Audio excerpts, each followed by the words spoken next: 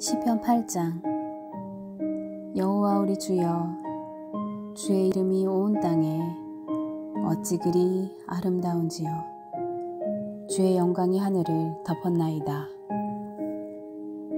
주의 대적으로 말미암아 어린 아이들과 젖먹이들의 입으로 권능을 세우시며 이는 원수들과 보복자들을 잠잠하게 하려 하심이니이다. 주의 손가락으로 만드신 주의 하늘과 주께서 베풀어 두신 달과 별들을 내가 보오니 사람이 무엇이기에 주께서 그를 생각하시며 인자가 무엇이기에 주께서 그를 돌보시나이까 그를 하나님보다 조금 못하게 하시고 영화와 전기로 관을 씌우셨나이다.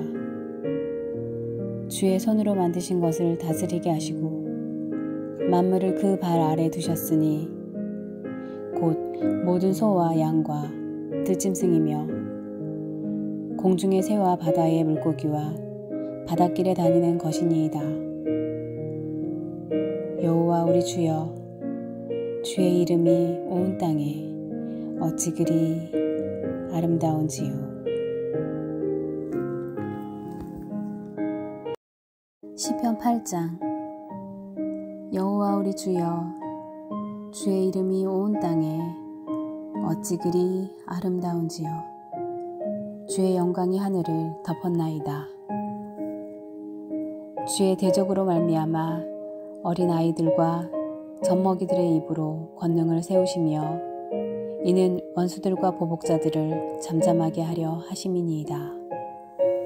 주의 손가락으로 만드신 주의 하늘과 주께서 베풀어 두신 달과 별들을 내가 보오니 사람이 무엇이기에 주께서 그를 생각하시며 인자가 무엇이기에 주께서 그를 돌보시나이까 그를 하나님보다 조금 못하게 하시고 영화와 전기로 관을 씌우셨나이다.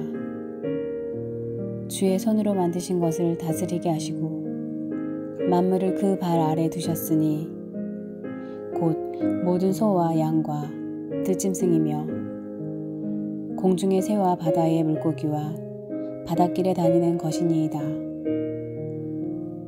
여호와 우리 주여 주의 이름이 온 땅에 어찌 그리 아름다운지요.